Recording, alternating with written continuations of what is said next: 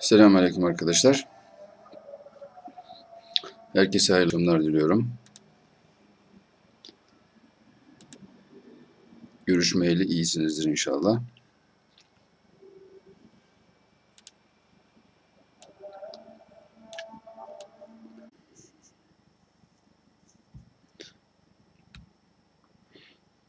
Evet arkadaşlar. Şu anda nasıl durumumuz? Takip edebiliyor muyuz?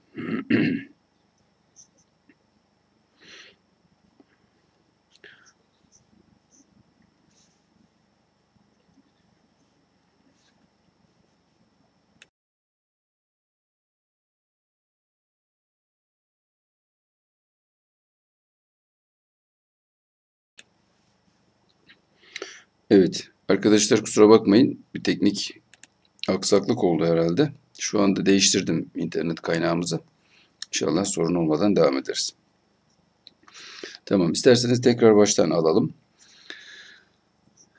Protestan kilisesinden bahsediyorduk. El Protestaniye, protestanlık hiye nedir? Damirul fasıl dedik buna. Mecmuatu toplamıdır. El akaidi, akide akaid, akideler, inançlar. Ed diniyeti, dini inançların toplamıdır. Vel kenesiyeti ve de kiliseye ait olan akideler. Buradaki akaidin birinci sıfatı ed diniye, ikinci sıfatı da el kenesiye.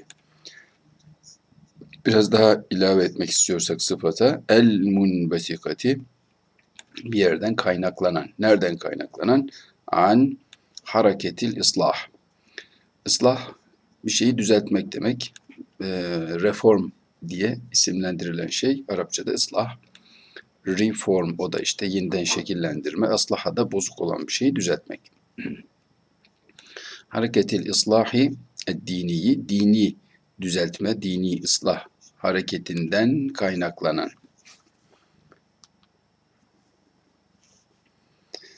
Peki nerede bu? Yerini söyleyeceğiz. Fi Avrupa.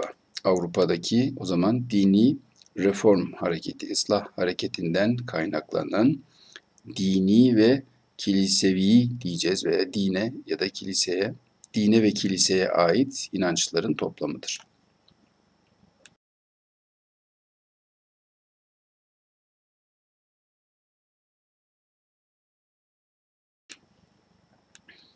Burada tercüme ederken e, Arapça sondan başa çevrilir diye söylenilir. Bu bir dereceye kadar doğru ama şöyle atıflar varsa bakın eddiniye vel kenesiye önce diniyi söylemek lazım sonra kenesiyeyi söylemek lazım. Atıflarda bu geriden başa doğru gelme usulü geçerli değil. Mecbur kalmadıkça sıralamayı bozmamak gerekiyor.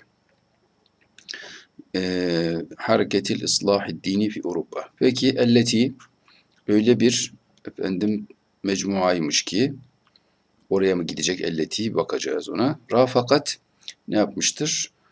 Refik olmuştur, arkadaş olmuştur. E, zuhura sevrati neyin ortaya çıkmasını? Sevra ayaklanma.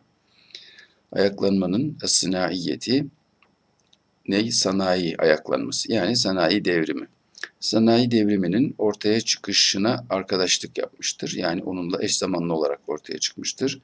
Ve tatavvuraha rafakat zuhura, rafakat tatavvura. Ne olmuş oluyor? Denkler birbirini e, atıf yoluyla pekiştirmiş oluyor. Atıf dengi dengi ne olur? Kuralını hatırlamak lazım. Zuhurun dengi ney? Tatavvur. İkisi de mastar. Dolayısıyla rafakatın iki tane mefulü olmuş oluyor. Peki demek ki bu protestanlık neye efendim e, ya da hangisine diyelim hareketil ıslah oraya da gidebilir. Herhalde en yakına yollamak daha isabetli. E, bu zamirleri, ismi ösülleri, ismi işaretleri iki özelliği birden taşıyan kelimeye yollamak gerekiyor. Birisi el akrab vel enseb.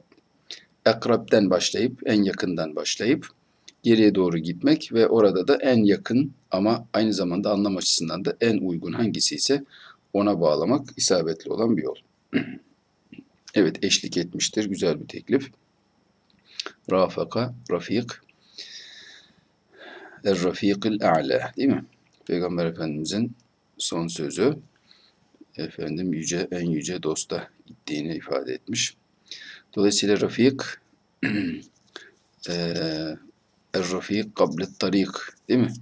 Öyle derler. Yoldan önce ne yap? Dostunu seç. Onunla kimle gideceğine karar ver.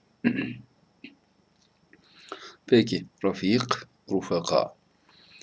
Burada başka üzerine duracağımız bir şey varsa söyleyelim. Yoksa toplayalım cümleyi. Demek ki protestanlık bir e, inanç bütünü.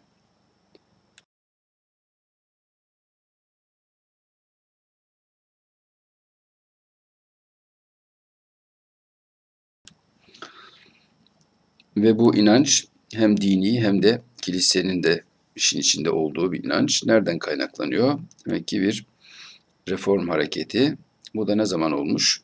Sanayi devriminin ortaya çıkıp gelişmesiyle paralel diyebiliriz herhalde değil mi? Paralel olarak ortaya çıkmış bir hareket.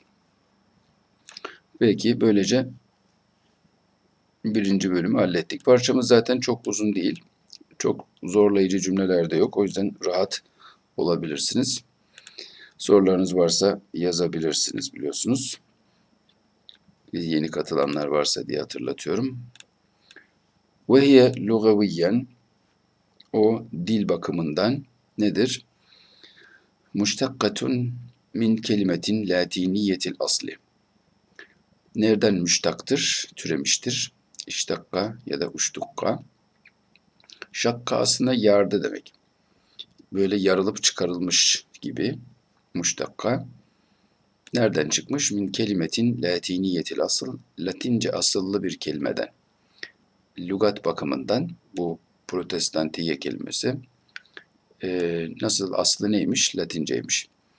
Dikkat ederseniz kelimetin nekra, latiniyetil asılda onun sıfatı gibi gelmiş. Bu nasıl olabilmiş böyle?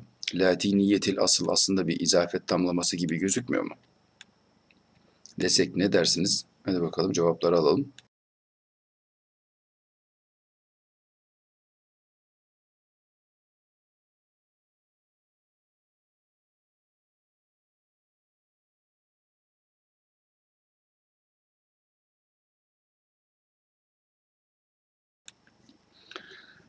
Evet, burada cevapları muhtemelen gönderiyorsunuz. Aynen lafzi izafet değil mi? Lafzi izafet olduğu için bakın hala nekre olarak kabul ediyoruz onu. Şuradaki muzafun ileyhin başındaki harfi tarif bunu marife yapmak için yeterli olmuyor. Mesela bu el kelime olsaydı minel kelimeti o zaman şunun başına da harfi tarif koyacaktık. El kelimeti ellati niyetil asli olacaktı. Tuhaf bir şey olacaktı. Muzafın başında da harfi tarif ama ihtiyaç olursa mecburen kullanıyoruz. Peki yani aslında bunun orijinali neydi? Min kelimetin asluha latiniyun idi. Ters çevirip cümleyi bu şekilde izafetimsi bir havayla vermek. Lafz izafet dedikleri o. Peki demek ki Latince asıllı bir oradan türemiş bir kelime imiş. Lugaviyen bölümü de dikkat ederseniz aslında e, metnimizin ana omurgasında yok. Vehiye muştakkatün diye gidiyor. Müpteda ve haber. Lugaviyen araya girmiş. Lugavi bakımdan, açıdan, min haysul luga gibi düşünürsek belki temiz diyebiliriz. Halimsi bir havada veriyor. Ama e, temiz sanki daha iyi. Tani ne yapar? Bakın ana yani biz Türkçe'de yani'yi kullanıyoruz. Yani'yi almışız, dondurmuşuz ve her yerde onu kullanıyoruz. Yani ne demek istiyorsun diyoruz değil mi? Karşımızdaki müzekker de olsa, müennes de olsa, yani ne demek istiyorsunuz cemi de olsa hep aynı. Ama Arapçada yani normal fiil. Ana yani yani yani yani yani ona tani tani yani diye çekip istediğiniz sigayı kullanabilirsiniz. Ama genellikle müzekker bir yapıysa yani müennesse tani kullanılacak. Tani kastediyor demek. Neyi kastediyor? Bunun anlamı nedir? Anlamına gelir deme anlamında. El ihticac. İhtecce yehteccu ihticac. Modern bir kullanıma sahip bu kelime. Hüccet böyle protesto eylemlerinde hep il ihticacat falan diye haberlerde duyarsınız. Hüccetten geliyor. Ellerine böyle pankart alıyorlar. Onlar da öyle hüccet, delil gibi böyle göstererek ne yapıyorlar? İşte bir şeyleri bağıra çağıra anlatıyorlar birilerine. El ihticac evul i'tirad. Demek ki protesto yahut ney? İtiraz etme anlamına geliyormuş Latince kökeninde. Zaten protestanlık dendiği zaman da içinde protest bir tepki, itiraz söz konusu. Pekala. Ee, buradaki tani bölümünü irabını sorsak ne dersiniz arkadaşlar? Evet, harfi ceri var mı? Ana yani'nin harfi ceri yok. Eğer onu kastediyorsanız o doğrudan doğruya e, kullanılıyor. İyyâki e'ni fesma'i ya cara diye bir atasözleri de var. Seni kastediyorum ey komşu hanım diye. Bizde kızım sana söylüyorum gelinim seni işit var ya onu işte kızım sana söylüyorum efendim komşum sen işit demeye getiriyorlar. Ekulu leki yebneti İyyâki e'ni fesma'i ya cara. Tam şekli herhalde böyle ama kısaca kullanılıyor. İyyâki e'ni oradan da anlıyoruz ki iyya onun harfi cer istemediğini gösteriyor. Çünkü iyya ne için kastedilir, kullanılır? Harfi cer yoksa ayakta duramayacak olan e, neyi? Zamiri ayakta tutmak için kullanılır öncelikle. Başa geldiği zaman da aynı şekilde İyyâke na'budu diyoruz değil mi? Aslında ke na'budu diyeceğiz. Fakat orada e, K tek başına ayakta duramadığı için İyyâke oluyor. Başa da gelince biraz vurgusu da artıyor. Sadece ve sadece sana. Yoksa İyya'nın tek başına sadece anlamı yok. Mesela birçok kişi İyyâke'de sadece sana anlamını verirken zannediyor ki İyya'nın böyle bir sadece anlamı var.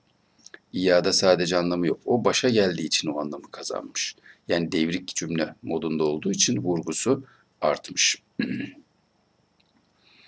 Peki. Mesela atini e, iyyahu der mesela. Elinde diyelim bir kalem var. Atini iyyah. Onu sadece bana ver değildir bakın. Onu bana verdir. Atini fiiline iki tane meful lazım olduğu için işte birini iyya ile verirsiniz. Peki taninin irabını sordum. Siz onu söyleyin bakalım. Yazın.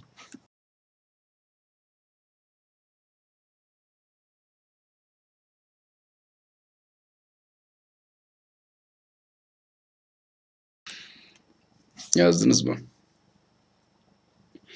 Evet. Haber diyenler var galiba. Orası mı? Evet haberimiz bakın burada ne? Ee, hiye muştakkatun. Haberimiz bitti. Min kelimetin latiniyetil asıl. Burada kelime var. Kelimenin birinci sıfatı bakın. Latiniyetül asıl. Dikkat ederseniz cümle şeklinde gelmemiş. Cümle ya da şibih cümle değil. Şimdi de cümle şeklindeki sıfatı geliyor. Bunu daha önce de söylemiştik galiba değil mi? Sıfatlar böyle farklı farklı kategoriden sıfatlar gelirse kısadan uzuna doğru bunlar e, verilir daha çok. Yani önce tek kelimelik olan, varsa iki kelimelik buradaki gibi izafet. Bunlar da yine müfret kategorisindedir. İzafetler tek kelime gibi hareket ederler. Efendim harficer ya da zarfla olursa işte o zaman şibhi e, cümle hükmünde olur. Ondan sonra onlar gelir. En sonda tam müstakil cümle olan sıfat varsa o gelir. Yani şu demek oluyor. Latince asıllı olup işte anlamı şöyle şöyle olan nedir? Efendim bir kelime e, muştakkatün bir kelimeden türemiştir diyor. Peki gelelim bir sonraki paragrafımıza. Vel protestaniyetu protestanlık Şimdi biraz onun hakkında bilgi verecek. Bakın iki virgül arasında ekstra bir şey söylüyor. Bu iki virgüle çok dikkat edin. İki virgül arasındaki ifadeler genellikle cümlenin asli unsuru değildir. Sınavlarda falan da çok işinize yarar. Evet itiraz cümlesi mahiyetinde. Yani illa her zaman cümle aramayın. Mesela burada bir cümle değil bu. Ama itirazi bir ifade. Yani bunu e, bir kere önce cümleden çıkar, sonradan ilave et demek aslında. El protestaniyetu cümle buradan devam ediyor bakın. La tuşekkilu keniseten vahideten. Ne yapmaz? Tek bir kilise teşkil etmez. Şimdi aradaki bölümü ekleyebiliriz oraya. Ee, bi hilafil katolikiyeti Katolikliğin hilafına, onun aksine. Ve ila haddin ma el orthodoks. Birazcık beceremeyeceğim bunları ben. Ortodoksiye aslında yani. Ortodoksiyeyi böyle yazmışlar. Orta D'yi de biz mesela çok net söylüyoruz ortodoks diye. Halbuki Arap, Arapça İngilizceden aldığı için bunları. ortodoks böyle peltek Z'ye benzeyen bir ses çıkarıyor. Aslında İngilizce'deki okunuşu da. T ile H yan yana geldi mi İngilizce'de? Aslında bu biz mesela D deyip geçiyoruz. Halbuki orada D diye böyle peltek Z'ye çok yakın bir ses çıkıyor. O yüzden Arapçaya aktarıldığında da e, onu Z diye aktarıyorlar. Demek ki Katolikliğin hilafına aksine ve Ortodoksluğun da bir dereceye kadar aksine yani tam değil belki ama onun kısmen e, ondan farklı olarak ne yapmazmış? La tüşekkilu keniseten vahideten. Tek bir kilise teşkil etmezmiş. Nasıl tek bir kilise? Bakın şimdi birinci sıfatı kilisenin geldi. Kenise vahide. İkinci sıfatı geliyor. Ne olacak? Zate sultatin merkeziyetin heramiyetin. Ne oldu? Bakın tamlama şeklinde, izafet şeklinde. Türkçeden asılarmış daha rahat ederlermiş değil mi? evet. Ama Araplar açısından Z biliyorsun. Peltek Z sorun değil. Bizim için sıkıntı. Biz o tip sesleri çıkarırken sıkıntı çekiyoruz. Pekala. Zate sultatin merkeziyetin haramiye. Buradaki kelimelere bakalım. Zat sahip demek biliyorsunuz. Zu'nun akrabalarından. Sulta hükümranlık. Merkeziye merkezi hükümranlık. Heramiye dediği heram, ehram da piramit demek aslında.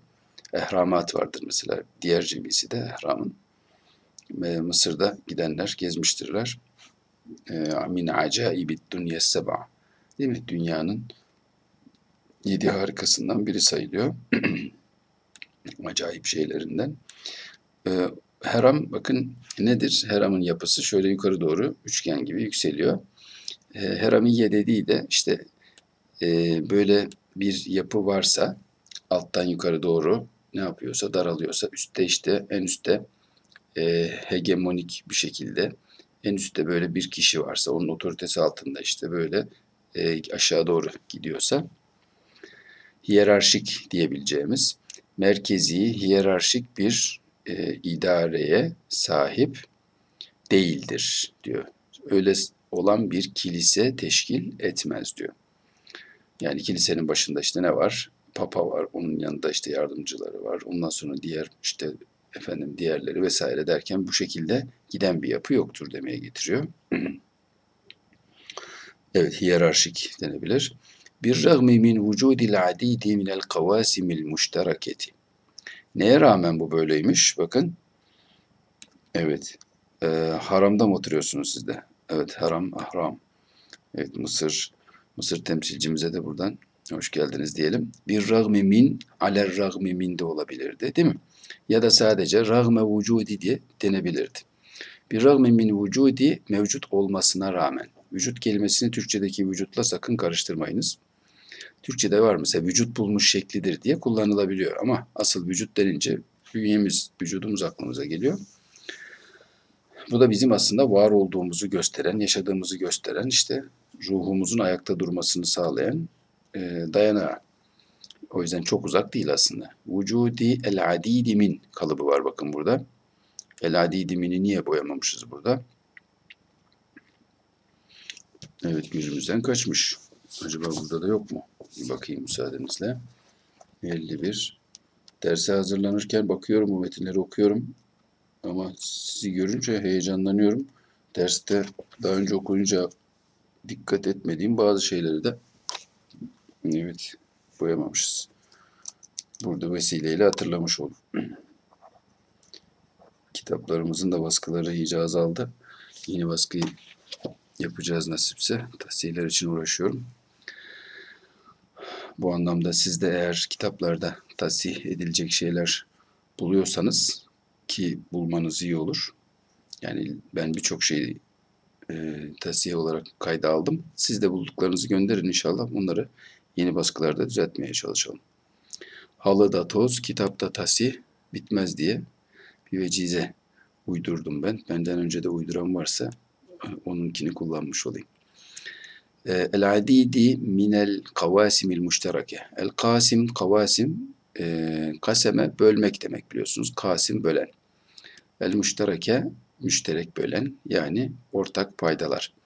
Pek çok ortak paydanın mevcudiyetine rağmen elleti tucedu beyne mu'zami etrafiha etrafı. Taraf uç demek aslında.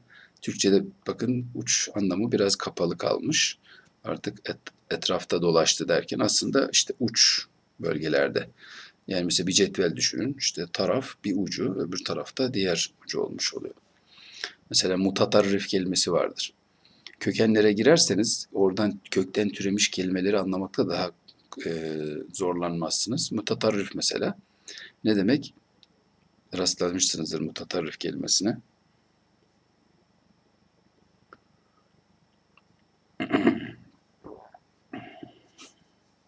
Bende de yok hocam. Sizde ne yok? Züleyha Hoca. Evet, hiyerarşik merkezi otorite güzel bir teklif.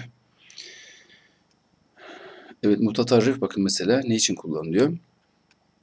Böyle e, tarafa, uç tarafa gitmiş olan e, fanatik denebilecek kişiler için kullanılıyor. Dolayısıyla radikal fanatik ne yapmış? O ortada durmamış bakın. Vasatta durmuyor. Ne yapıyor? Tarafa gidiyor. Uç taraflara gitmiş oluyor. Peki o zaman işte diğer taraflarının çoğunun arasında yani farklı farklı birbirinden farklı uzaklıklarda olan değişik ekolleri var. Onların arasında genel olarak böyle çok ortak müşterek unsurlar, paydalar mevcut olsa bile neyi böyle merkezi bir otoritenin efendim e, olmadığı bir kiliseymiş. Öyle merkezi bir otorite olan kilise teşkil etmiyormuş bunlar. Ama Katoliklik daha merkezi, Ortodoksluk biraz daha e, arasında gibi. Yani Katoliklikle Protestanlık arasında bir yerde duruyor sanki. Evet, taraf kelimesi parti anlamında kullanılıyor mu? Partiler için hizp kelimesi kullanılıyor bildiğim kadarıyla. Tarafı duymadım o şekilde. Evet, mutatarrif kelimesinde işte fanatik için daha çok kullanıyorlar. Radikal, e, mesela e, mutatarrife, evet. E, El-Ahzab, El-Mutatarrife. Minadidin benim kitapta da işaretlenmemiş. Ha, evet, kitaplarda işaretlediğin onu not aldık. Peki. El-adid min bir kalıp ifadedir ve bunun müennesi yoktur bakın. El-adidetu min denmez. Hep el-adidu min denir. O yüzden dikkat ederseniz el-kavasimül müştereke bunu aslında e, gayri akıl cemi olarak müfret müennes sayabiliriz. Sayarız. Ondan bahsedeceksek hiye deriz ama el-adidu yine böyle gelmiş. El-adidu minel rical, el-adidu minen nisa. Bakın hiçbir zaman adidetuna dönmüyor. Kalıp ifadeleri iyi fark etmek gerekiyor. Çünkü kalıp ifadeler bazen başımıza iş açabiliyor. E, sınavlarda mesela kalıp ifadenin bir kelimesini çıkarıyor. Siz genel kıyaslamayla gittiğiniz için kıyasa uygun olarak işte müzekker müennes diyorsunuz ama uymuyor. E, geçenlerde konuşmuştuk derslerin birinde. Sınavlarda çıktı. Ma yerbu ala, ma yezidu ala kalıbı mesela. Normalde ma gayri akiller için kullanılır. Fakat ma yezidu ala miyeti şahsın gibi bir cümle vardı. E, ma yezidu ala bir kalıp ifade olarak tak diye oraya gelmiş girmiş. Onu men diye de çeviremiyorsun. Bu kalıp. Dolayısıyla da o ma'yı çıkarmış oradan soruyor. E, birçok kişi meni muhtemelen seçmiştir o soruda. Niye? Çünkü 100 kişiden fazla diyoruz. E, bunlar akıllı insanlar. Men uygundur diye düşünmek kıyasi ama kıyasla her zaman ne yapılmaz? Hüküm verilmez. O yüzden Hanefiler istihsan diye bir usul kullanırlar. Nedir? Her şey kurallı gitmediği zaman araya istihsan girer. O ek boşluğu doldurur. Pekala sonra dönelim. Minel kavasimil müştereketilleti burayı anladık. Min ebrazi muessisiha. Bakın onu kuru, kuranların en bariz olanlarındandır. En önde gelen kurucularındandır. Kimler? Luther ve Calvin. Luther ve Calvin onun nesiymiş? En bariz kurucuları arasında yer alıyormuş. Burada iki şeye dikkat çekelim. Birisi Calvin'i F ile yazmaları. Değil mi? Bacaksızlarda, beşli çetelerde. Evet. bol bol. Evet. Yuakabu men la yezdu bihi. Öyle mi? Evet. Öyle miydi cümle? Sanki biraz daha değişikti. Bakın burada Arapçada vav olduğu halde niye kalfin diye f ile yazdı? Dikkatinizi çekti mi? Kalbin yazabilirdi. Ama geçen konuşmuştuk galiba onu. Vav nerede yazılıyor? W şeklindeki batı dillerinde olan sesleri karşılıyor. Ee, F ise batı dillerinde V şeklinde yazılmış olanları karşılıyor. O yüzden kalfin demiş. Vitamin diyorlar. E, feyrus diyorlar virüs için. Bunun gibi. Bir diğer hususta bu muessisiha bakın aslında neydi? Muessisine idi değil mi? Evet. E, müessisine idi fakat düştü. Min evrazi muessisine ha diyemediği için. Niye? Çünkü e, cemi müzekker salim dediğimiz bu nunlu biten kelimeler yahut tesniyeler nunlu biten hem tesniye hem cemi müzekker salimler muzaf olduklarında nunları düşüyordu. Mues- Muessisineha diyemediğimiz için böyle oluyor. Bir şeye daha dikkat çekip geçelim. Min ebrazi muessisiha dediğimiz yer haberi başa çekmiştir dersek Luther ve Calvin de onun nesi olur? Ee, müptedası olur. Muahhar müpteda sona kalmış öznesi olmuş olur. Ee, bu min ebrazi yapısı bir kişiyi niteliyorsa eğer söz konusu bir kişi ise o zaman eee, onlardan birisi olur. Ama birden fazla burada olduğu gibi kişiden bahsediyorsak o zaman ne yapacağız? İki. Üç yapabilirdi. Onun en bariz kurucularından, kurucularının önde gelenlerinden deyip üç beş kişiyi de sayabilirdi mesela. Eğer bir kişi olursa o zaman e, biri anlamını da verebiliriz. Yani tam ehadi anlamını veririz orada mesela. Ehadu ebrazi muessisiha Luther deyip bıraksaydı mesela hem min hem ahad birbirinin aynı işini yapmış olurdu. Böyle müradif türünde birbirinin işini yapanlar da geldi mi onlara da temas edelim diye düşünüyorum. Çünkü sınavlarda biliyorsunuz onları bol bol yokluyorlar bu tip şeyleri. Müradif zıt çalışması. Peki gelelim Emma diye yeni bir konuya geçiyoruz. Bakın emma ile fe ne istiyor? Arada demek ki biz yeni bir konunun bir başka boyutuna geçiyoruz. Emma ehem tavaifiha onun en önemli neyleri? Tayfaları. Tayfa gemi tayfası gibi işte bakın grupları. Bu grupları hangisidir? Ehemmu dediği için en önemli grupları olmuş oluyor. Eğer min demiş olsaydı min ehemmi tavaifiha diyecekti. Fehye nelerdir? Onlar şunlardır. El-Lutheriyyun, Lüterciler, vel islahiyyun ve reformistler. Sonra vel Anglika, yani nun öbür tarafa düşmüş. Vel Anglikan, orada düşmemesi lazımdı. Vel Anglikan nasılmış? Evet burada düşmemiş. evet. Vel Anglikan sonra Anglikan dedikleri Anglikan Kilisesi'ne cevap diye bir kitap vardır hatırlarsınız belki. Vel Menheciyyun ve menheç normalde nedir? Metot. Metodistler, metot bir belli bir metodu olan kişiler ama işte özel bir isim haline gelmiş onlar için. Sonra vel ma'medaniyyun Baptistler dedikleri bir ekolmüş onlar içerisinde. Vel İnciliyun kim onlar da? İnciliyun e, evangelik evangelikler miydi? Kopya çekeyim biraz. Evet, evangelikler, evangelistler. E, kitapta da anlamlarını veriyoruz biliyorsunuz. Evangelist yazmışım ben. Evangelist de diyorlar. Herhalde ikisi de olur. Peki bu tür demek ki neleri varmış? Kendi içinde grupları varmış. Kendi içindeki neleri diyelim? Mezhepleri diyebiliriz herhalde. Mesela biz şimdi protestanlığı Hristiyanlığın bir mezhebi gibi algılıyoruz. Fakat batıdaki algı öyle değilmiş. Batıda e, protestanlık bir müstakil din olarak algılanıyormuş.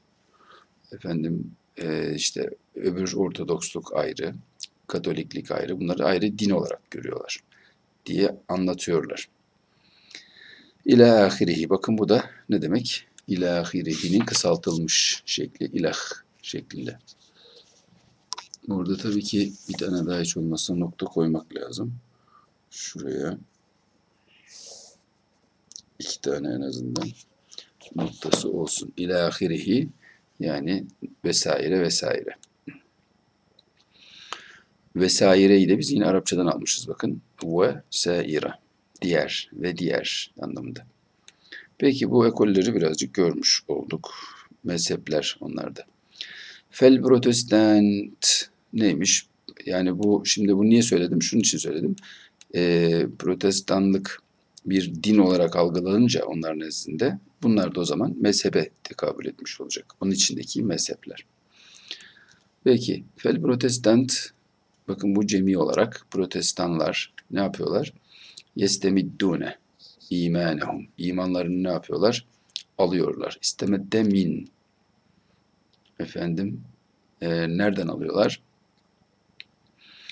E, mübaşereten doğrudan doğruya e, imanlarını nereden alıyorlar? E, min hilali tefsirihim tefsirleri, yorumları yoluyla alıyorlar. Nereden alıyorlar?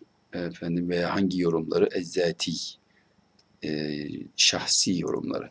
Yani kendileri kutsal kitap, işte İncil'i okuyorlar ve kendi ne anladıysalar onu e, linususil kitabil mukaddesi, mukaddes kitabın naslarına ait olan zati, şahsi yorumları, tefsirleri vasıtasıyla, aracılığıyla doğrudan doğruya imanlarını temin ediyorlar diyor. Protestanların yaptığı iş bu.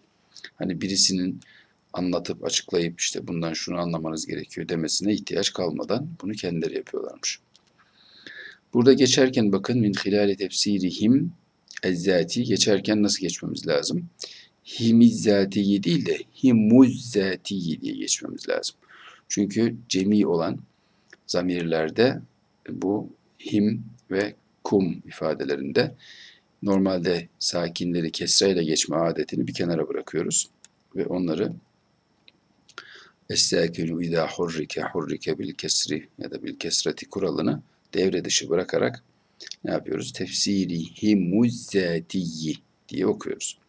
Zati, şahsi yorumları yoluyla işte kitab-ı mukaddesten oradaki metinlerden ne anladıysalar imanlarını o doğrultuda şekillendiriyorlarmış. Şuradaki lamın da niye geldiğine dikkatinizi çekelim. Aslında min hilali tefsiri nususil kitabi el mukaddesi deseydi izafet tetabu'ul idafe böyle zincirleme isim tamlaması yaparak gidebilirdi. Fakat araya ne girdi?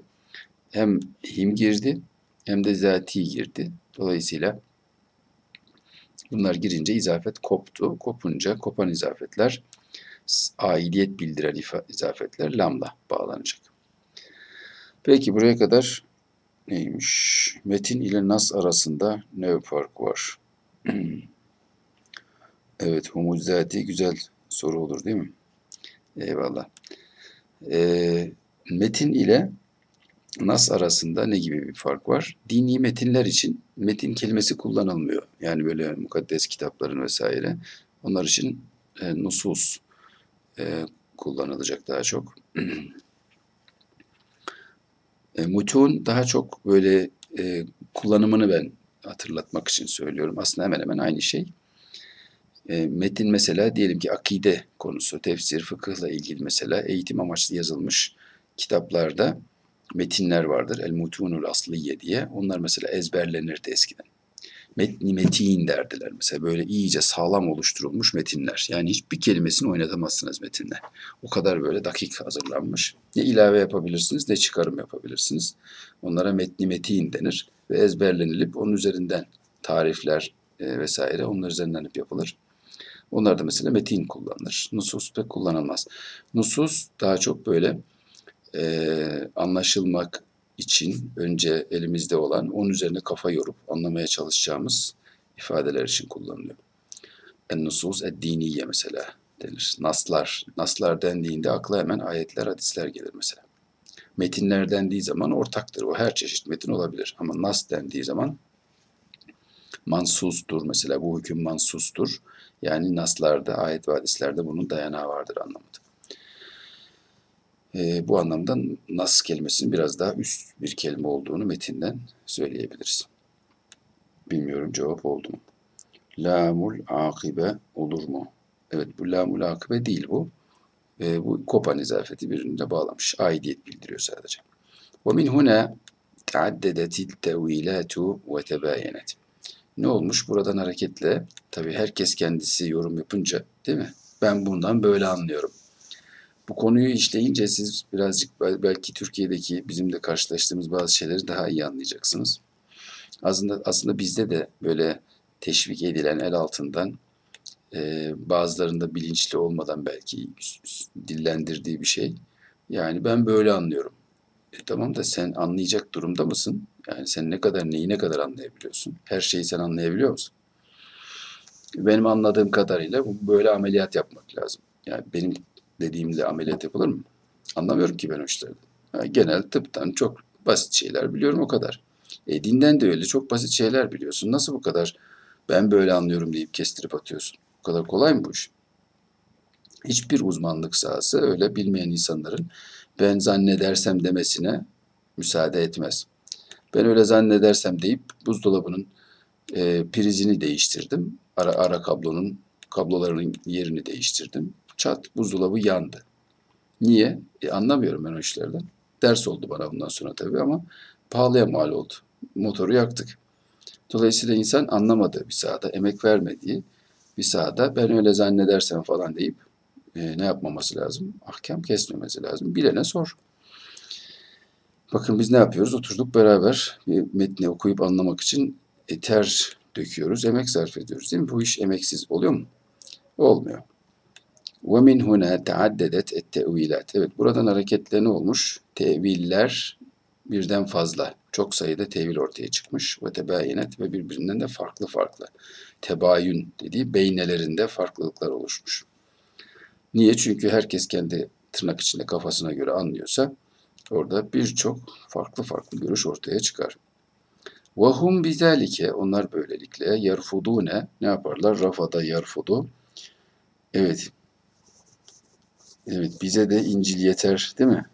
Diyen protestanlar gibi bize Kur'an yeter. Kur'an'ı al, sünnetten kopar. Onu da Kur'an'ın da zaten asli harflerinden anlayacak durumun yok. Ne yapıyorsun? Meallerden oradan buradan kafana göre istediğin gibi bir şey olursan onu o yana çek, bu yana çek. istediğin gibi bir din çıkarırsın yani. O yüzden sünnetten koparıldığı zaman Kur'an-ı Kerim e, maazallah ondan her şey çıkabilir. O yüzden ona çok dikkat etmek lazım. Kur'an ve sünnet bir bütündür. allah Teala Kur'an-ı Kerim'i pat diye böyle e, pat derken pat diye ses çıktı yukarıdan. Pat diye böyle ne yapmamış? E, böyle bir dağa atmamış, bir yere atmamış. Peygamber Efendimiz de göndermiş parça parça ve hepsini tatbik ettirmiş ki bu nasıl tatbik ediliyor görülsün. Farklı yanlış uygulamalar yapılmasın diye. O yüzden Kur'an ve sünnetin arasını ayıranlar aslında e, bir kısmı iyi niyetli değil. İşte dışarıdan destekli. İçeridekiler de yani bunlara uyuyor. Bunlar da biraz saf. Bu kadar saflık doğru değil. Vahum bizalike onlar böylelikle ne yapıyorlar? Yarfudune, rafada yarfudu. Çocuklar rafadan yumurtayı reddeder. Oradan aklınızda kalabilir. Ee, kabul etmiyorlar, reddediyorlar. Kuvvetel keniseti el katolikiyeti. Katolik kilisesinin kuvvetini ne yapıyorlar? Ee, reddediyorlar. Elleti tera ki o kilise ki ne yapıyor? Görüyor. Ennet taklidel kenesiye kilisenin nesi? Geleneği. Taklit kelimesi bakın Türkçe'ye geçmiş ama Arapçadaki şu anda kullanılan şekli e, taklit gelenek için kullanılıyor. Ve tefsirahu el hassa lil kitabil mukaddesi onun kitabı mukaddese yönelik olan özel tefsiri, özel yorumu kilisenin yuadilani yani hem taklit hem de tefsir. Bunlar ne yaparlar? Muadildirler, denk. Adele yuadilu muadeleden denk olurlar. Ee, bizdeki matematikteki denklem meselesi vardı ya, onun da karşılığı el muadeledir. İşte siyasi denklem deyip mecazi olarak da kullanılır. El muadele ve siyasiye falan yine orada da kullanılır, karşınıza çıkar. Evet bu neye denktir? O kilisenin yaptığı e, geleneği ve o kitab-ı mukaddese ait yapmış olduğu özel yorumu, kendine has yorumu neye denktir? Bakın mefulü burada geliyor. Ma ca'e fil kitab. Arayı sonra okuyacağım. Ma ca'e fil kitabi zatihi. kitapta bizzat gelen şeye denktir. Yani kitapta olan şey tamam o onun yeri var ama o kilisenin onun için yapmış olduğu yorum da aynı kuvvettedir, aynı ehemmiyettedir. Şimdi o ehemmiyettedir bölümünü anlatan bölüm min haysul ehemmiyetu. Ney? Ehemmiyet bakımından. Demek ki bu denk olmanın hangi açıdan olduğunu söylüyor bize. Bu yönüyle temiz değil mi? Vari bir iş yapmış oluyor aslında bu. Yuadilani ehemmiyeten gibi düşünsek temiz olur direkt. Böyle de e, e, temiz ya işini görmüş olacak. Demek ki önem bakımından kilisenin kendi geleneği ve o gelenek içerisinde oluşan ney? Kitap mukaddes yorumu en az ne kadar değerlidir, önemlidir? Bizzat kitap mukaddesin içinde olan işte ayetler kadar önemlidir demiş oluyorlar. Bunu kim söylüyor? Bakın bunları bir taraftan zihninize kaydedin. Bunu Katolikler söylüyorlar. Değil mi? Ama protestanlar böyle söylemiyor. Ve bunu reddetmiş oluyorlar. Parçamızın da sonuna gelmişiz. İyi. Ee, son cümlemiz min huna buradan hareketle tebruzu ehemmiyetül protestantiyetu protesta evet protestantiyetu bazen T var bazen yok ama boş ver çok da önemli değil ayet değil hadis değil değil mi protestantiyenin önemi işte bariz olur ortaya çıkar ne, ne olarak sevraten ve ihticacen Sevra devrim olarak, ihticacen protesto olarak neye? Alel kenise. İhtecce bakın ala istediği için burada ne olmuş? Peşinden hemen gelmiş. İhticacen ala kalıbını zaten medyadan çok duyarsınız haberlerde vesaire. E, İhticacen alel kenisetil katolikiye. Katolik kilisesine protesto. Ona bir baş kaldırı, sevra ve ona karşı bir protesto e, olarak nedir? İşte protestanlığın önemi ortaya çıkar. Burada sevraten ve ihticacen diye söylemişiz. Orijinal metinde e, bu ke sevratin ve ihticacindi galiba. Bakayım buradan da size göstereyim isterseniz. Öyle bir, heh, şurada bakın görebiliyor musunuz? Bakın şurada. Kesevratin vahticacin diye. Buradaki K'nin kullanımı çok fasih olmadığı için biz bunu değiştirmeyi uygun görmüşüz. K bu modern Arapçada çokça kullanılıyor. Olarak anlamında. Ama aslında çok fasih değildir diyorlar. Biz de o yüzden değiştirmişiz. Sevraten vahticacen olarak. Belki bir hal gibi, belki biraz temiz gibi düşünülebilir. Sonra e, alel kenisetil katolikiye ve tasallutiha diniyi neye tepki? Bakın kenisetil katolikiye atıf yaptık. Tasallutiha dini, dini neyi? Tasallutu, otoritesi, her şeye ne yapması? Musallat olması, her şeye haki hükümran olması. Onun otoritesi diyebiliriz herhalde. Onun dini otoritesine bir ney? Sevra ve ihticac dini ve dünyevi fi Avrupa anezak. Anezak, anzaklar diye böyle takılıyorum ben arkadaşlara. Değil mi? Evet, hangi kitaptan okuyoruz? Şu kitaptan okuyoruz. Efendim, bu kitapta da aynı metinler var. Ama başka şekliyle ele aldık orada da. ee, anzaklar dediğimiz, değil mi? Enezek yani o zaman, o dönemdeki, ortaya çıktığı dönemdeki Avrupa'da Değil mi? Dini ve dünyevi nesi? Otoritesi. Kilise sadece din, dünyevi, e, uhrevi değil. Dini sahada değil değil mi? Dünya sahasında da yetkiyi kullanmaya çalışmış. İşte bu Haçlı seferlerinin hepsinin altını karıştıran bunlar. Bu kadar kan dökülmesinin altında yatan e, bu işte din adamlarının, papalığın vesairenin siyasilerle işte iç içe e, efendim bunlar ortalığı karıştırmışlar. Evet hegemonya güzel gider bu tasalluda. Güzel teklifler. Evet e, demek ki buna bir ne olarak e, başkaldırı ve e, protesto olarak önemi ne yapar? Ortaya bu şekilde çıkmış olur diyor. Böylece protestanlığın ne olduğunu biraz anlamış olduk. Daha fazla merak edenler protestanlık diye bakarsalar Diya'dan da bakabilirsiniz mesela değil mi? İslam Ansiklopedisi, Diyanet'in basmış olduğu Hristiyanlık, Protestanlık gibi kavramlardan bakabilirsiniz. Diya en sağlıklı bilgi alabileceğiniz dini sahada kaynaktır. En geniş, biraz akademiktir. O yüzden üslubuna aşina olmak lazım. Biraz altyapısı olmak lazım genel olarak. Yoksa e, oradaki bazı kavramları tam olarak oturtmak mümkün olmayabilir. Ama siz zaten bu işlerle uğraşıyorsunuz. Arapça ile uğraşan birileri demek ki bu işi ciddi olarak ele alıyor demektir. Oradan istifade edersiniz. Yalan yanlış bilgilerle donatmak yerine hani Wikipedia falan bunlar sağlıksız bilgiler de içeriyor. Ayırt edemezsiniz yani ilk başta bilmediğiniz bir sahada oradan beslenirseniz. Bilen insana bir malzeme veriyor Wikipedia tür kaynaklar ama bilen insan ayırabiliyor çünkü iyisini kötüsünü. Ama bilmeden girerseniz doğru zannedersiniz birçok şeyi. Peki o zaman biz ne anlattık? Onun ne olduğunu önce anladık. Değil mi baştan sona? Efendim dini görüşler aynı zamanda işte kiliseye ait. Efendim nereden çıkmış? Reform hareketleriyle beraber ortaya çıkmış. Dini sahada da reform yapılsın denmiş ve neyle beraberdi? E, Sevr sanayi değil mi? Sanayi devrimiyle beraber ortaya çıkmış. Latince asıllı protesto falan itiraz demekmiş. Katolikliğe benzemiyormuş. Ortodoksluktan da biraz farklıymış. Onlarda böyle bir sulta hegemonya pek yokmuş değil mi? Her ne kadar kendi içindeki işte farklı uçlarda da e, hepsinin ortak tarafları varsa da yani böyle çok böyle merkezi bir otorite yoktur demiş oldu. Calvin'le değil mi öyle dedi. Ne vardı? Calvin'le Luther işte önemli kurucular arasında yer alıyordu. Mezhepleri vardı. 4-5 e, tane mezhep değil mi? 6 tane mezhepten bahsetti. Daha da var demek ki ilahirihi dediğine göre.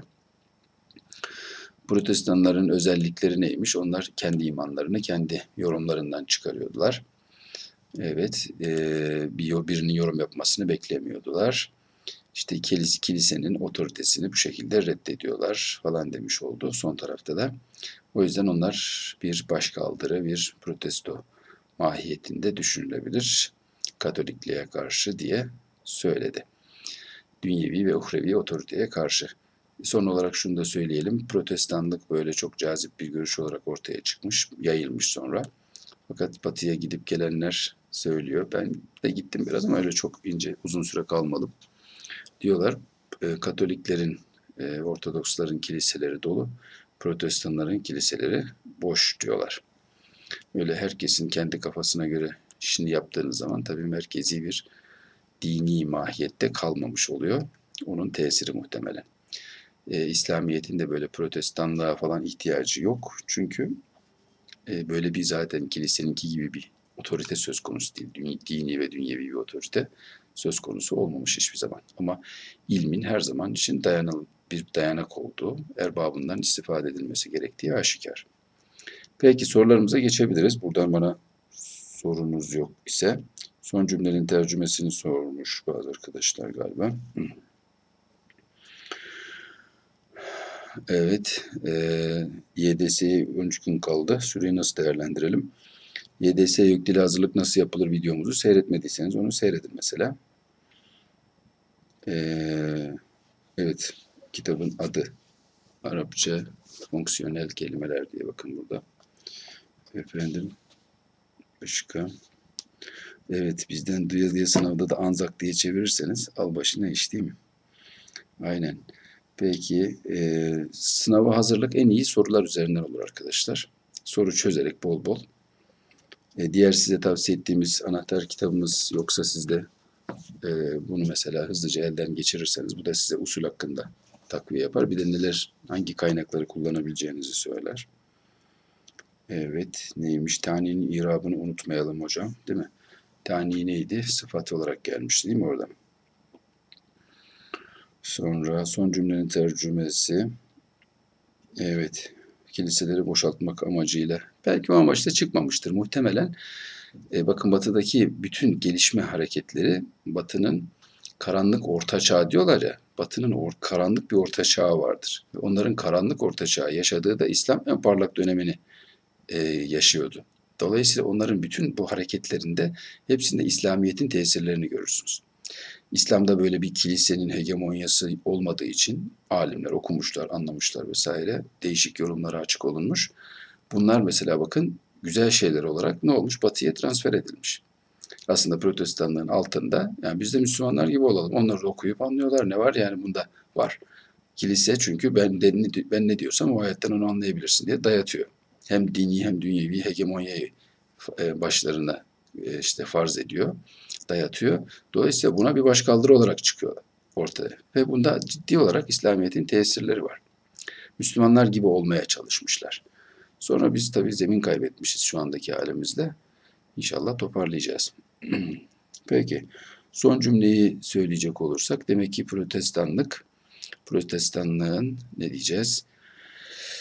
Efendim Katolik kilisesi ve onun dini ve dünyevi hegemonyasının o dönemdeki Avrupa'da e, buna karşı bir başkaldırı ve e, protesto olarak vehemmiyeti ortaya çıkmaktadır demiş oluyor. Buna benzer bir şeyler söyledi. Peki neymiş? Sümme ile huna. Huna arasında fark var mı? Min huna buradan hareketle demiş oluyor. Ve min semme de diyebilirdi. Ama ve min sümme ve min semme daha sonra gibi bir ifade. E, daha çok. Ve herkeze diyebilirdi burada min huna yerine mesela. Buradan işte bu okuduklarımızdan anlıyoruz ki herkese olabilir, min huna olabilir. E, min sümme buraya pek uymaz sanki. Peki. Ee, başka sorusu olan arkadaş galiba yok. Şimdi devam edelim. Sorularımıza da bakalım. Nerede bu sorularımız? Sırayla gidebiliriz herhalde. Çünkü çok özel bir soru yok. Ee, hani dar kapsamlı bir şey olsa diye. Çünkü hep protestanlıktan bahsettik zaten. Bir tanesi farklı gibiydi. O da aynı protestanlık söylüyor.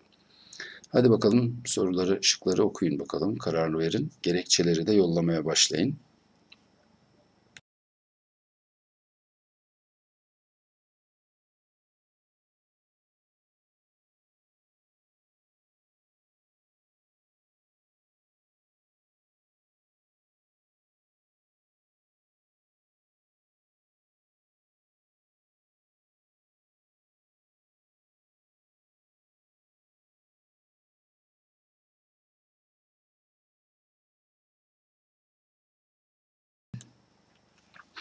Evet arada zaruri molalar veriyoruz kusura bakmayın. Demek ki yukarıdaki parçaya göre diyor. Hasebel kıtati kıtati a'lahu. A'lahu da her zaman hu. Bakın normalde bir zamir olarak ha falan olur diye bekleyebilirsiniz ama hiçbir zaman değişmiyor. Nas da olsa, a'lahu kıt'a da olsa a'lahu şeklinde gelecek. Yani o da kalıplaşmış artık. Yukarıdaki demenin yolu a'lahu. Ennel katolik Katolikler ne yapıyorlar? Yebhasûnel ara. Öyle mi? Yo. Yubihûnel ara el protestantiyet. Protestanlara ait olan raileri, görüşleri mubah kabul ediyorlar. Ebaha yubihu ibahaten. Katolikler böyle yapıyorlarmış. Balıkesir ne diyor? Ennel protestantiye protestanlık reddetu fiilin nedir? Tepkidir. Reddetu fiil. Fiil var bir de reddetu fiil. Etki tepki. Fiil etki, reddetü fiil. Onun nesi? Reddi yani tepkisi. Kime tepki? Dıddal katolikiyeti. Neye? Katolikliğe bir tepkidir diyor. Ceyhan enel protestantiyete neşeet fil karni sadise aşara. Ne? 16. asırda neşet etmiştir diyor. Başlamış, kurulmuştur, ortaya çıkmıştır. Ennel kelfin huvel muessisul esasiyyü lil protestantiyeti. Nedir? Kalbin protestanlığın esas kurucusudur demiş oluyor. Temel, asıl kurucusu. Edirne enne evvele tevilin lil kitabil mukaddesi kitab-ı mukaddese ait olan ilk tevil yarci'u lil protestant protestanlara aittir. Onlara döner diyor. Bakın elemeye çalışalım. Test tekniğini nerede kullanıyorduk? Elemede. Hangisi doğru değil, hangisi yanlış diyeceğiz. En rahat eleyebildiğimiz hangi şıksa ondan başlayalım. en kolay eleyebildiğimiz ney? Mesela biz dedik ki Katolikler, Protestanlar bunların farklılıklarından bahsettik. Onların görüşlerine mübahtır, işte tamam o da olur derseler o zaman bunlar bunlar aralarında nasıl farklılıklar olacak? Niye bunlar o zaman farklı? Değil mi? Dolayısıyla bunlar farklı farklı şeyler söylüyor ki bunlar aralarında nedir? Mezhep farklılıkları var. Ve bunların farklılıkları da enteresan bir şekilde sadece bizimki doğrudur şeklindedir. Bizim mezhep algımız ama yani genel algı şudur. Mezhebuna savabun yahtemilul hata'a ve mezhebu gayrina hata'un yahtemilul savabe. Muhtedil görüş budur. Bizim görüşümüze göre diyor bu söz. Bizim mezhebimizin görüşü doğrudur ama ne yapar? Yanlış olma ihtimali de vardır. Yani yüzde yüz doğrudur diye söylemiyoruz. Ve başkalarının görüşleri, bizim mezhebimizin dışındaki mezheplerin görüşleri de bize göre hatalıdır ama doğru olma ihtimali de vardır. Yani böyle yüzde yüz kesip attırmaz, öyle şey mi olur, batıldır falan deme şeklinde değil. Bakın Hristiyanlarla Müslümanlar arasındaki en temel farklılıklardan birisi bu. Tabii bu genel olarak. Bizde de onlar gibi düşünen, onlarda da belki bizim gibi düşünen azınlıklar olabilir. Peki o yüzden Adana'yı en önce göndeririz. Sonra Ceyhan'a bakalım. Ne diyor? El karni sadisi aşar diyor. 16. asır. Hiç geçti mi arkadaşlar 16. asır? Geçmedi. Dolayısıyla 16. asır yoksa kusura bakmasın gider. Parçada olmayan şey yoktur. Parçayla sınırlıyız.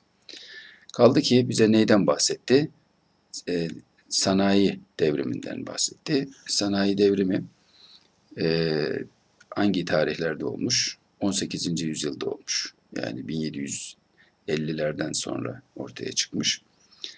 Dolayısıyla e, arada burada söylenilenle bu 1500'ler demektir değil mi? 200-250 senelik en az bir fark oluşuyor. Yok öyle bir bilgi de yok zaten. Peki ennel kalbin huvel muessisul esasi. Bakın kalbinden bahsetti ama kalbinle beraber neyden de bahsetti? Bir başka isimden daha bahsetmişti. Kimdi o? İki isimden bahsediyor. El esasi şeklinde de vermedi bunu değil mi? Min ebrazi dedi. En bariz olanlarından birini daha söylemişti. Dolayısıyla iki kişiyi söylediği yerde birini çıkarıp öbürünü o en barizi budur demek öbürüne nedir? Haksızlıktır. Öyle değil mi? Hatırlarsanız orada vardı değil mi? Evet. Ee, şu yukarıdaydı galiba. Luther değil mi? Luther bu işte önde gelen isimlerden birisi. Martin Luther e, önü başı çeken isimlerden birisi o. Belki de en önde diyecekse onu demesi daha isabetliydi. Ama öyle bir şey demedi zaten parça. Peki devam ediyoruz. Onu da eledik değil mi? Geriye şu kaldı Edirne. İnne evvele tevil. Evvele dediği an ilk dediği zaman, son dediği zaman, hep dediği zaman, hiç, hiç dediği zaman mübalağa bir abartı var. Kaçının bu tip ifadelerden. Varsa parçada bir şey demiyoruz ama normalde bu tip şeyler yanlıştır. En e, evvele tevilil kitab mukaddes yarcevil protestan. Sanki bundan önce hiç ne yapılmamış? Tevil yapılmamış gibi. Kaldı ki tevil ifadesini de parçada kullandı mı hiç? E, tevili de kullanmadı. Değil mi? Evet Luther bir adım önde zaten. Peki e, dolayısıyla elimizde ne kaldı? Balıkesir. Ennel protestantiyete raddetu fiilin dıddal katolikiyye. Değil mi? Katolikliğe karşı bir nedir? Tepkidir diyor. E, ona benzer bir ifadeyi de ne yaptı? E, bu aşağılarda bir yerde kullandı değil mi? Şuradaki en son cümle ona benzemiyor muydu? Tevruzu ehemmiyetül protestan sevreten ve ihticacen alel kenisel katolikiyye. Değil mi? Bakın sevra, ayaklanma, baş kaldırma ve tepki, protesto. Dolayısıyla ne yapacaktı? Doğru cevap zaten parçadaki ifadeleri biraz değiştirip bize satacaktı. Biz de onu oradan tanıyacağız. Peki o zaman birinciyi hallettik. 35 tamamdır. 36'ya bakalım. Doğru cevabımız Balıkesir dedik. Nefemu ba'de mutalaatil kıtati enne Luther kâne fî bidayeti emrihi katolikiye. Luther neydi? İşin başında Katolik idi diyor. Balıkesir enne şube şemali Avrupa kuzey Avrupa halkları yani tenekul protestantiyete protestanda ne yaptılar? Yani teneka boyun eğdiler. Yani ona girdiler. Bir e, görüşü benimsemek, özellikle de bir dine girmek için yani tenaka, boynunu onuk değil mi? Boynunu ne yapıyor? Teslim ediyor. Boyun büküyor, boyun eğiyor. Bu yani tenakayı çokça kullanıyorlar. Yani tenaka dinel İslamiye, yani tenaka mesihiyete falan diye söylüyorlar. Sınavlarda da epeyce çıktı. Enne nuşu el protestantiyete tezamene ma'a sevreti sınaiyeti. Ne protestanlığın neşvü, neşvü nema bulması, gelişmesi, ortaya çıkması tezamene ma'a ne yaptı? Eş zamanlı oldu. Zemen kelimesini tanıyorsunuz. Tezamene olunca ikisi aynı zamanı kullandı. Ma'a sevreti sınaiyeti ne? Sanayi devrimiyle. Sanayi devrimiyle eş zamanlı olarak ortaya çıktı diyor. Denizli ne demiş? Enne tukusel protestant tehtelifu an tukusi tavaife ukhra. Protestanların ritüelleri, ibadetleri, taks, tukus. Taksın bir anlamı e, hava, hava durumu içinde kullanılıyor. Haletü taks diye. Diğeri de burada taks, tukus dendiği zaman dini metinlerde ibadetler, ritüeller anlamlarına geliyor. Aslında orada da böyle dini bir hava oluyor ya, herhalde bağlantı oradan kuruluyor. Şimdi mesela namaz dinimizin neyinden? Taksından, tukusundan birisi. Orada da ne var? Dini bir atmosfer, dini bir hava oluşuyor. İşte öbürü de normal atmosfer. Enne tukusel protestant, onların ibadetleri nedir? Başka e, mezheplerin, başka grupların, cemaatlerin ibadetlerinden farklıdır diyor. Edirne ennelil protestant bıtriyarken kesiren ne kesire salahiyet. Protestanlık için ne vardır diyor. Protestanlar için bir patriark vardır. Patrik dedikleri işte. Onun da aynı zamanda nasıl bir patriarkmış bu da bakın lafzi izafet olarak sıfat gelmiş. Çok yetkileri olan, geniş yetkileri olan bir patrik e, varmış. Nerede? Protestanlıkta. Şimdi neyi rahat rahat eleyebiliyorsunuz? En rahat eleyebildiğimizden başlayacağız. HKS formülü. Havada, karada, suda giden hangisi ise o. Bir kere patriark falan diye geçmedi. Kaldı ki böyle bir neydi? Ee, herami bir yapı yoktu. Değil mi? Böyle başta bir kişinin olup ondan sonra diğer sorumlulara vesaire. Dolayısıyla herkes biraz tabiri caizse kafasına göre takılıyordu. O yüzden Edirne gider. Takstan, tukustan bahsetmedik bakın hiç. Değil mi? Normaldir. Her mezhebin kendine has ibadetleri farklı farklıdır. Her görüşün tamam ama burada öyle bir şeyden bahsetmedi. Ondan sonra biraz da yukarı çıkalım. Efendim Luther'in başta Katolik olduğuna dair herhangi bir bilgi vermedi. Luther'den sadece bir yerde bahsetti. Bir e, yapıda sadece onun önde gelen kişilerden olduğunu söyledi. Luther geçiyor, yalan değil. Katolik de geçiyor bakın. Ama bu ikisi böyle beraber böyle bir anlam verecek şekilde kullanılmamış. Aslında bakın bu cümle doğru. Birazcık birikimi olan, işte genel kültürü olan kişi eskiden ilk başta hepsinin Katolik olduğunu, daha sonra aralarından Katoliklikten çıktığın diğerlerinin yani bir yerde ehli sünnet gibi düşünürseniz Katolikliği anlama açısından ehli sünnet çizgisi içerisinde sevada azam içinden sonra ne oluyor işte bu mezhepler özellikle itikadi efendim bizim bozuk dediğimiz yollar oradan hep çıkıyorlar ayrılıyorlar. E, mu'tezile kelimesini hatırlayın. Oradan bizden ayrıldı anlamında. Yani tezele, anne, vasıl gibi.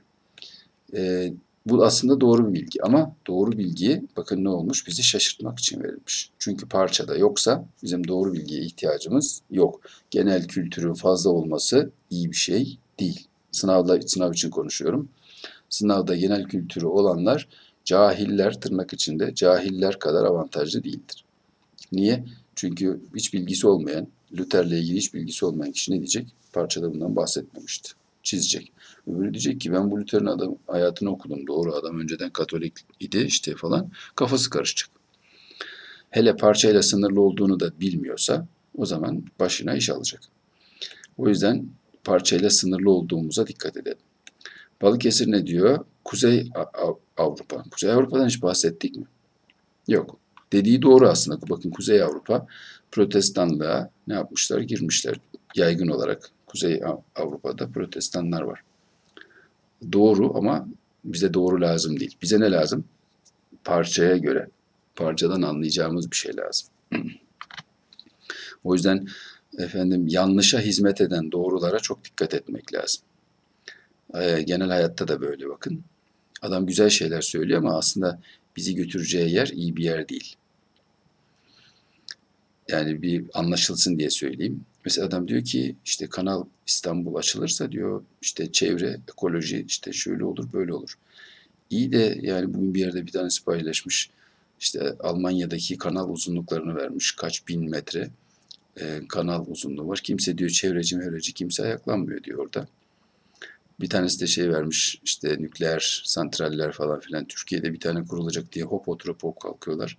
İşte Amerika'da 50 tane, Fransa'da şu kadar, İngilizce, İngiltere'de. Bunlar niye peki hiç ses çıkarmıyorlar bunlara? Yani biraz akıllı bir adam bunları da görmesi lazım değil mi? Dedikleri doğru. Çevre çok önemli, faydalı evet ama doğru kelimeyi doğru yerde kullanmak gerekiyor.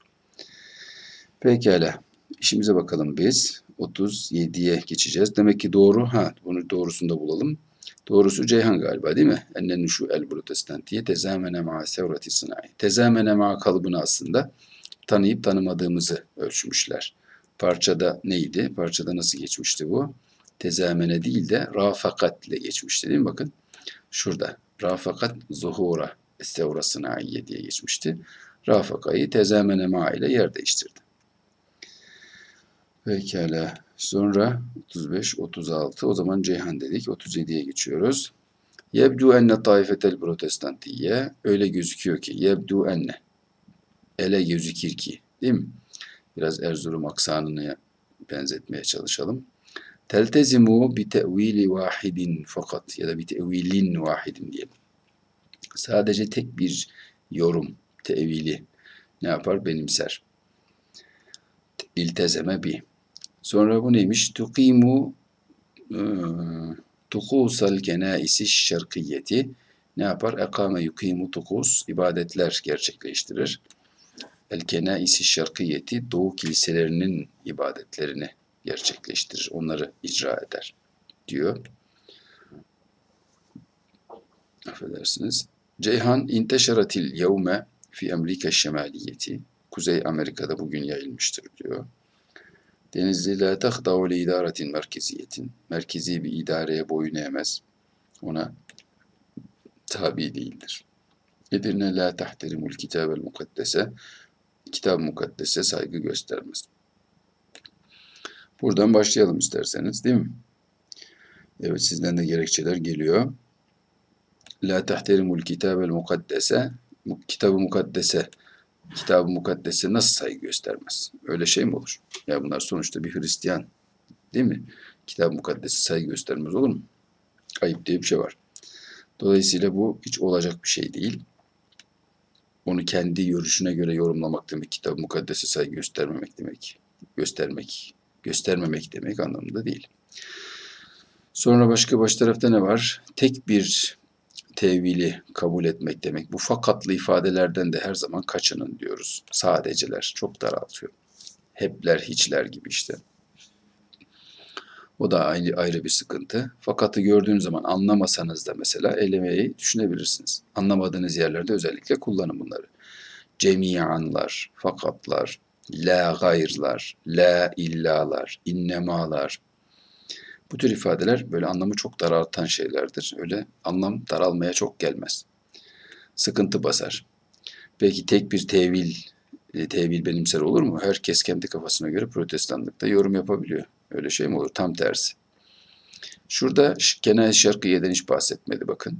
Değil mi? Doğu kiliseleri. Aynı şekilde Kuzey Amerika'dan hiç bahsetmedik. Geriye ne kaldı? La tahta'u li idaretin merkeziye. Merkezi bir idareye boyun eğmez demiş oluyor. Bunu nerede görebiliyoruz? Bakın parçada var mıydı böyle bir şeyler? Orada bir efendim e, heramiye falan filan mı vardı? Ne vardı? Evet. Bakalım. Evet. Oyununa dur bakayım. Yukarıda mı geçiyordu yoksa? Şurada. ha, Şurada. Evet, la tuşekkilu keniseten vahideten zate sultatin merkeziyetin heramiyetin ifadesini bakın biraz değiştirerek ne yapmış? La tahta'u li demiş. Öyle anlatmış. Bu da mıydı? Bir sonrakinde miydi? Hı. La tahta'u li idaretin merkezi. Merkezi bir idareye boyun eğmez demiş. Bakın burada da doğru cevap kolay bir şekilde anlaşılıyor. Son sorusuna bakalım. Parçadan anlıyoruz ki enne mana kelimetil protestant mezale gamida. Protestan kelimesi hala gumud, kapalılığını koruyor. Gamid, kapalı. Ne olduğu tam anlaşılamayan bir şey. Enne lil protestantiye firakan muhtelifeten. Protestanların farklı fırkaları mevcuttur. Mezhepleri, kendi içinde ekolleri. Enne tefsir el patriark el protestanti huvel esasu. Patriarkin, e, protestan patriarkinin neyi? Tefsiri, yorumu o esastır diyor. Öbürü ennehu ma zalet fi Avrupa hurubun mezhebiyetun ve taifiyetun. Hala ne var diyor Avrupa'da? Mezhep ve işte e, yani mezhebi taife hemen hemen aynı yapılar. Mezhep savaşları ne diyor? Efendim e, hala devam etmektedir diyor. Avrupa Birliği'ni kurdu adamlar. Ne mezhep savaşından bahsediyorsun? Enne Avrupa i'tenakatil mesihiyete kable sittete aşara karnen. 16 asır önce Avrupa Hristiyanlığa i'tenaka bakın ne yapmıştır? Boynunu teslim etmiştir. Yani o dine girmiştir diye. Bir kere Avrupa'nın ne zaman Hristiyan olduğuna dair herhangi bir bilgi vermedi. Bu mesela belki de o e, paragrafın alındığı yazının daha öncesinden mesela diyelim ki 3-5 sayfalık bir makaleden bir paragraf alıp koyuyorlar önümüze. O paragrafın öncesi var, sonrası var. E, oralardan ne yapıyorlar? Bir şeyler yine konuyla alakalı alıp önümüze koyuyorlar. Tam alakalı değil ama tam o paragrafın içine girecek kadar değil ama yine başıyla sonuyla bir şekilde alakalı. Bu da muhtemelen belki de e, o yazının ilk cümlelerinden birisiydi.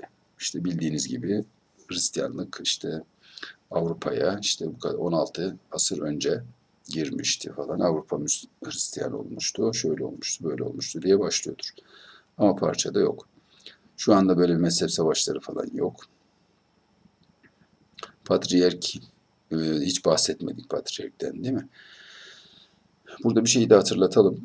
Patriark meselesini mesela bir soruda gördük bunu. Soruda gördüğümüz için zihnimiz bunu ya böyle bir şey geçtiydi diye algılayabilir bakın. Bu bir tehlike. Ona çok dikkat edin. Yani bir patriark meselesi geçiyordu doğru ama nerede geçiyordu? Şıklarda geçiyordu ve biz onu o yüzden eledik. E burada da eleyeceğiz.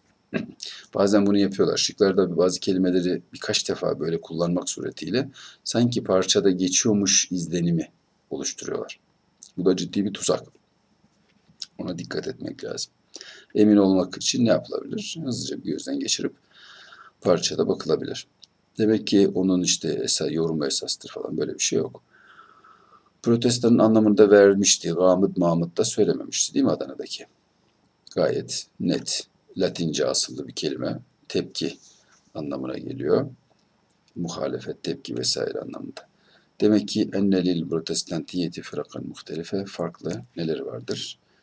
Mezhepleri vardır diyor. Bunu da nereden anlıyoruz? Evet, aşağıda mıydı? Evet, tavaif kelimesi var bakın şurada. Değil mi? Emme ehemmu tavaifiha. Tavaifi neyle değiştirmiş bakın. Tavayı da, de firak diye çevirmiş. Fırkanın cemisi firak.